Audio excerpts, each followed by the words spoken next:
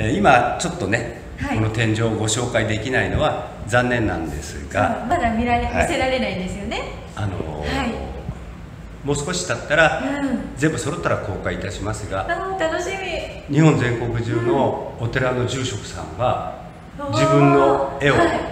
描いてくれたり梵字を描いてくれたり、それすごいですよね、はあのーうん。京都奈良大阪。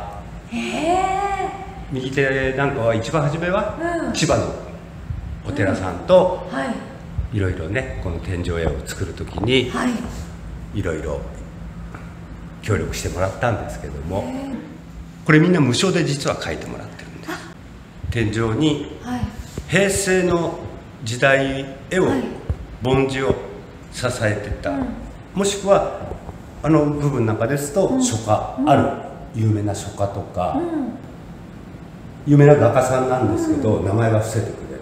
おとある画家にしといて宮司って言われーてとかまあいろいろ平成の技術が全部網羅された天井に仕上がると思います、えーただいろいろ、うん。ね、神社のお寺あ神社とかお寺の豪天井、天井絵っていうのはもう花鳥風月とかね、百人一首とか、もう絵の題材が決まっててはい。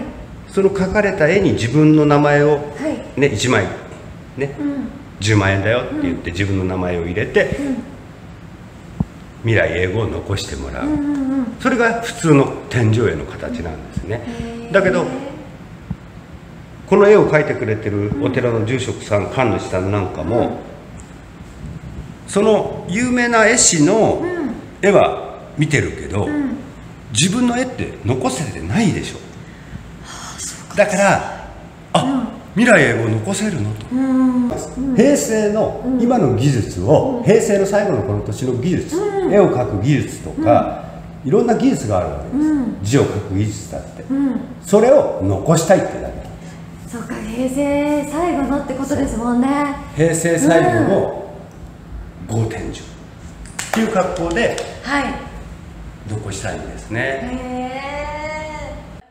えいやなんいい香り。これは何これははい。香杉って言いまして